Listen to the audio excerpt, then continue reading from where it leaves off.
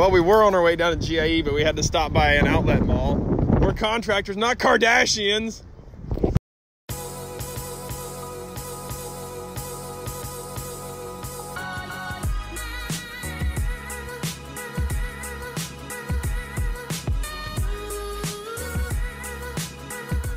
Bobcat's got ads on the ground. Pretty cool. Reputation, you can ride on it. Or something. Very proud to be because we've been using it for six or eight months now and they've brought us on their team. Ooh, I'm, I feel ridiculous wearing that around, but uh, it's going to be a good event. Hopefully, I can get you some video from it. If nothing else, we're making YouTube videos on it. Kind of explains everything from the lead right on through to the profit is pretty important. We need to have a system for each stage of this our time and material.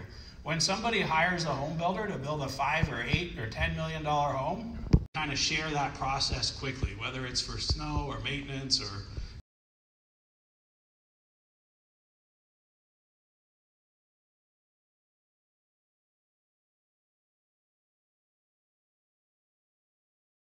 Here we are at Hardscape North America, Green Industry Expo, shooting video stuff. First place we walked in the door, you, you got to see this. All right, and it's Miss Britt on an SK3000. Look how ridiculously, absurdly large this machine is. Holy Moses. That is a big machine. Since we're now in the show, we're going to go through some rapid fire uh, stories and stuff like that, try to bring you the most value uh, quickly. So this is going to be some pretty fast stuff here. Here we go. Bobcat has released their new line of tractors, small and medium. A cat gas-powered wheelbarrow. To show off the Kubota mini skid steer loader. Well, they didn't care that's not here. This stuff is the future of everything in labor. Robotic sidewalk clearing machines, probably pre-programmed to uh, coordinates and stuff. Get used to this, figure out how you can invest in it or profit from it. The red tracks on this ASV, if nothing else, are pretty cool. Brit doesn't think they're that cool. Never mind, delete that last. This little uh, gas-powered snow shovel, that's neat, I like it. All right, so paver mechanization, paver handling specialty tools. And of course, uh, Hardscape Magazine, subscribe at hardscape.com, hardscapemagazine.com. There you go. Our friends here at Polysweep, darn good sand, you're right. Ugly, ugly, awful hats. Good lord, guys, come on. Jeez. Maybe they put all their time and R&D into their sand and not into their hat styling. I don't know. Can't all be as good looking as this, I suppose. Uh, here's a cool thing from the folks at Bomag. This is a essentially a poly pad that is integrated in the reversible plate compactor for and this thing is dedicated to paver compaction. This is an 8,000 pound centrifugal unit here, uh, but a neat concept like this a lot. It's just a really expensive dedicated machine would be the only thing if you weren't dedicated to doing really large installs. They've got a big sheep's foot trench roller here, robotic control, jumping jacks, of course. Cool. I like that, it's neat. This is a really cool thing to have at a booth here, but this gentleman here, I'm gonna try to stop by every couple days, every day here and see what the progress is on this, but what a neat thing. Something I wish I had. So this dude, uh, check out their Instagram here. But the dude is carving this out. I'm just going to give him a mention because I love this dude's passion for carving stone. It's super cool. So we're going to do some updates on this through the week. But in about 30 man hours on that side, and uh, whatever that would probably take the balance of. So here is something that is, I would say almost a competitor to. Now they use these geocells for in other projects, but uh, interesting that they're advocating this as a replacement for ba base depth. I like that concept.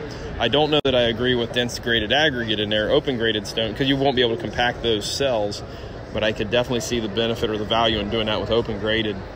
I, I like where that's going.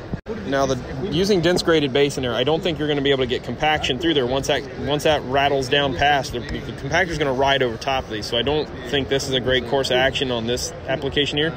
But what I would do is use all open graded stone, like a number eight, like this, all the way through it, and I think you'd get great. Uh, you know, great, solid, oh, what's the word I'm looking for? They're geosynthetic base type, right? I like this. And so, doing all open graded stone, again, go with a number nine stone. But I like this concept. One of those things you're like, oh yeah, duh. They sell these to use just as parking, you know, grass paver parking. So using it as to thin up your base, I like this. So, uh, big interior. This is great. They're going to do an arboriculture uh, training event here pruning and climbing in in the building. Isn't that awesome? So here's following up. This is a manufacturer of this stuff, but that's what that stuff, you know, the concept is for gravel parking or for even turf parking areas. You could do that. So uh, why not lay pavers over it? Duh. Stop by to see my friends at Mulchmate here. They got these things, the leaf burritos. I can't even go into the spiel of what those are. Stop by and check them out here at Mulchmate. What's up? Britt likes this, um, but it's a good to show the horizon profile of um, this. On this case, a permeable install job. Now they use number nine gravel on their uh, setting bed. We want angular stone in there, of course, but nonetheless, like that explanation. Here I am at the Unilock booth. I'm going to be here hanging out, hosting Kid Contractor uh, Hour at, well, Britt and I both, so if that's a bigger draw. But we will both be here. But her and I both will be here at 1 o'clock Thursday tomorrow, tomorrow, right?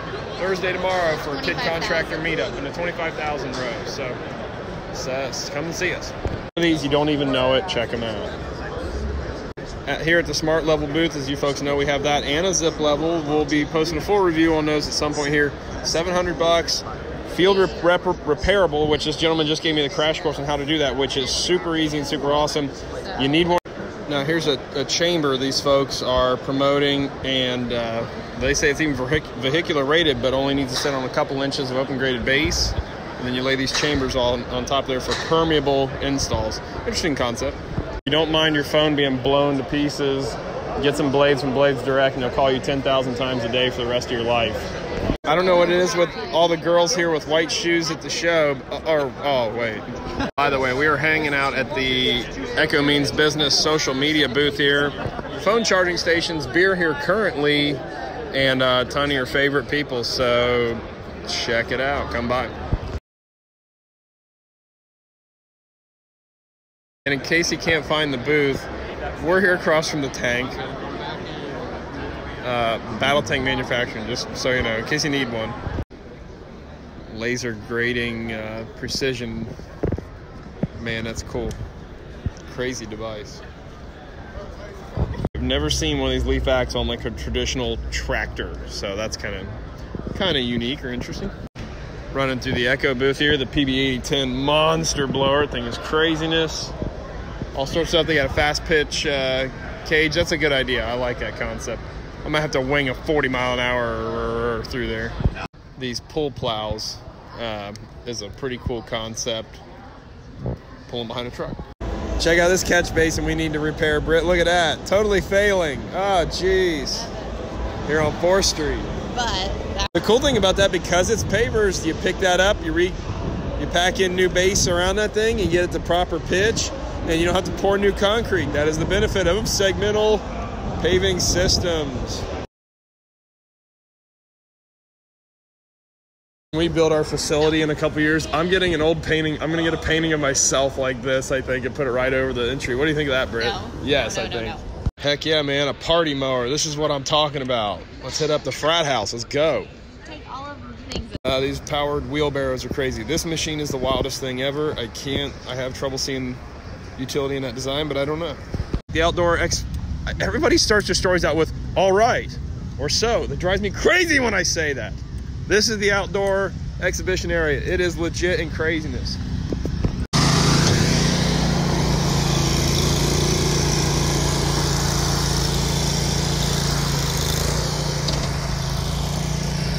Stop by the Toro booth here to see our buddy Naylor Taliaferro at the, his Toro takeover of the Toro booth. So.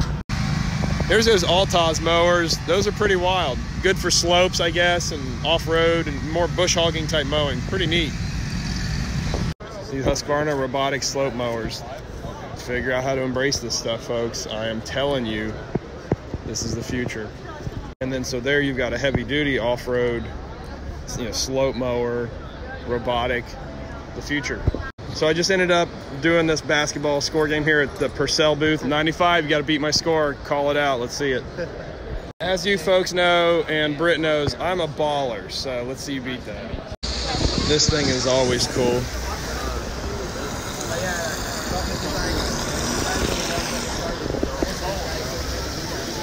If you're putting uh, fences and posts behind retaining walls, this is one of the products you want to look at using. Something to this effect here. But that's what that goes in behind your retaining wall. That's what uh, gives you structural uh, capacity.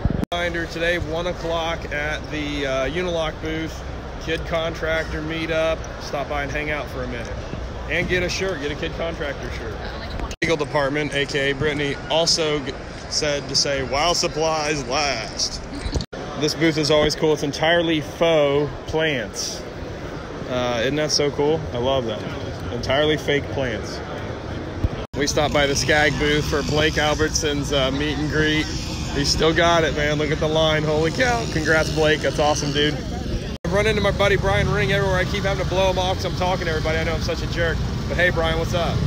So you probably saw this on like a million viral videos, but here it is at the actual show. Golly, never mind the airplane. But this is the chariot. This may look funny and you may laugh at it, but this is the stuff that saves labor. On a big commercial property or a shopping mall, you think about that, what that saves. It's, uh, I think it has a ton of utility. I don't know if it's cost effective yet, but you get that in a, a battery powered version. Holy cow. Any, anytime, go ahead. You guys see us drive staples for ECM. Here's a machine that'll do it for you. Each one of those is driving a staple, so about a thousand bucks for that unit. Uh, and you buy it's like a stapler, it works. So those pins hold down, you know, your ECM. Man, that's in there good too. Holy cow! But yeah, so there you go. Oh no, Britt, don't ruin your Sperry's. Brian's lawn maintenance is having Thursday at 11. Actually, no, that's right now, isn't it? Oh, that's hilarious. I didn't realize that's right now. He's right here. Man, good luck with that, guys. Holy crap. Meeting with some industry friends here for a quick lunch. Some good dudes here. At the Unilock booth, here we go. In just a few minutes, stop by, get a kid contractor t shirt. Welcome to the Thunderdome. This is my local rep. He can't wait to leave. He's taking lunch as soon as this thing starts. Check out this DJI 4K mini camera. This is um, Kyla with Unilock. She's big wig up there with the marketing and all that. Check out this tiny camera. Isn't that sweet? That's a DJI. So. Hey, quick thanks to everybody that came out. Our uh, kid contractor meetup was awesome, and I would say a, a great success. Great success. And we uh, we give away all our shirts like in a heartbeat, and uh, I got requests for more. We're gonna figure out how we can just sell those at cost. Anybody that's interested here for a little while, uh, we'll figure that out. Thank you again so much for the support. means the world to me, truly. Thank you. There's uh, the nice folks at uh, Pave Tool there, rolling a nice truck and uh, well brand. I like that uh, branding there. It's cool. So Britt and I are eating uh, barbecue at Louis here, just down from Louisville Mega Cavern. We ate here last year. Now you may know our credentials or our criteria for good barbecue. We want the place to kind of be dumpy and not great. We want them to be good barbecuers, not good business people. And would have would have impressed me even more about this barbecue place because I love it. Look at that burnt brisket, so you get some good smoky flavor on there. My God, I can't wait to eat that. Is what would impress me more is if these guys were out of business because that would tell me they were really bad business people, really good barbecuers. So we're walking down to the mega cavern. Look at those bagworms on those junipers. Oh, why I yada. Look at those stupid things. Ah. Here's a quick overview of the Louisville Mega Cavern uh, GIE Rally event.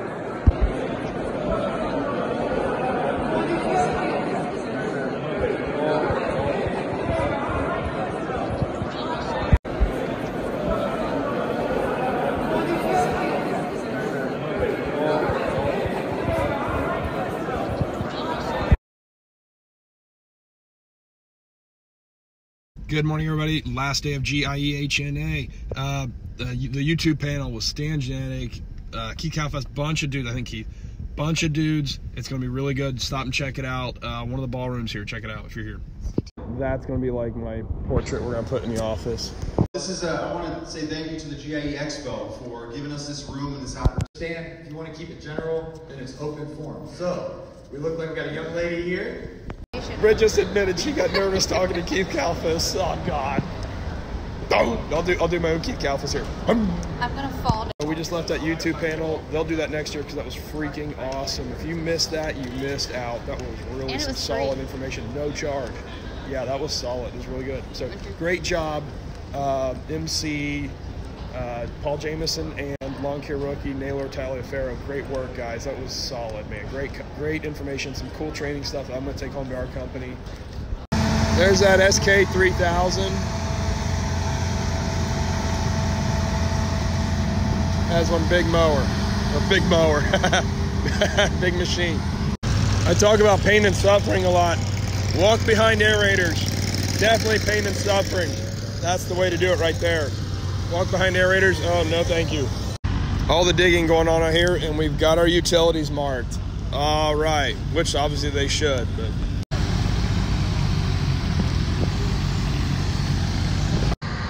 There's a robotic line paint sprayer. Those GeoRipper like earth chainsaws, really cool for putting in wiring and plumbing and lighting and stuff like that. This radius bit, I've been seeing it around here with all the cool kids. That is pretty cool. Here, vendors, all that stuff. The layout of this is poorly uh, described. Not enough signage to tell people to get back out here, but uh, this pavilion is way nicer than being in the tent, I believe. So they just need more signage out front. A Bluetooth or a wall switch that's next to the door. You can turn features on and off, start and stop uh, very effectively. And the ever controversial concrete edging for pavers or plastic or aluminum. Folks here at PermaEdge, they got their display out. They've got, if you're curious on installing concrete edging, they've got some great instructional videos on their YouTube channel. Even if you use just regular concrete, uh, check out their YouTube channel. Check out their product. I know guys that use it and love it. Um, we do use concrete edging, so we definitely uh, believe it's the way to go. We're at the fine folks at Unilock. Here's a system that I said they should do when Ucara first came out. and said you should make metal panels for this that I can bolt into an existing concrete porch. And they said, we'll never do that. So whatever. But but here is a, a modular system for this Ucara. You can buy multiple faces for it. And you hang it on there. And so this is for pre-assembled grill grill islands, columns, which they're going to be, um, we're going to be building one of those at our own house. Miss Britt is. YouTube video featuring only girls constructing it. Woo! That's clickbait, isn't it? Ugh. But uh, that should be pretty cool. These are the concrete center segments you use. I'm not super sold in this system, but I've never used it before, so that's maybe me being unfair. But the panels that you can select are beautiful, and you can create all sorts of different aesthetics. They do it for larger retaining walls, seat walls, but here's one where they've got a geogrid inlay, which is pretty cool. Um, that's a great display, by the way. Whoever came up with that, really good display. These basing units are really cool too, by the way. Great concept for helping level out and distribute out the weight.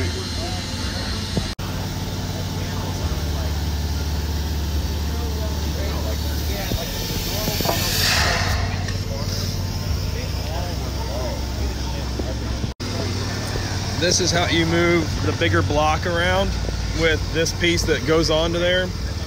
Um, only thing I don't like, there's a lot of small mechanical parts to that, but hopefully that would hold up. But our friends at Poly Sweep here now have a black sand, so that's pretty sharp looking. I like it. That's it for the 2019 GIE HNA trade show. Look how long these aisles are. They go forever. Such a big show. But that's it. Till next year. We'll accept ConAg and ConX in Las Vegas in March. We're going to that, right, Britt? We just need a sponsor. Need. Any takers? thing about that SK3000 is how high that step is. Be, it's a real pain to step on and off of. One of the flaws of that machine for sure. Operator comfort is stepping up on that high step. Not a fan of that. Here, uh, 79 bucks. How to install pavers. We're gonna run that special through the weekend, whether you're at the show or not. The um, how to install pavers.net. Swipe up to check it out. $20 off, 20% off. Uh, we're gonna run that special through the weekend. How to install pavers.net. Swipe up, check it out. Thank you.